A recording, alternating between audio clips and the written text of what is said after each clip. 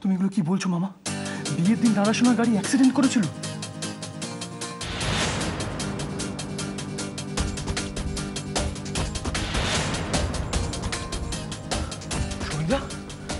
সবিতা তুমি তো সেদিন গাড়ি চালাচ্ছিলে।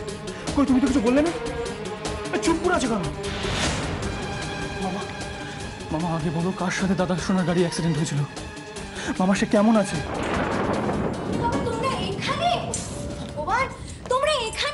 সারা বাড়ি ও আপনারা এখানে বসে কনফারেন্স করছেন তাই তো?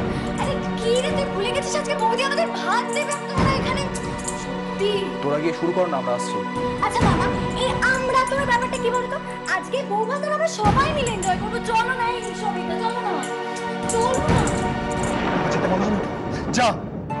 বাবা আমি কি এমন বললাম যে তুই এভাবে রিয়াক্ট করছিস?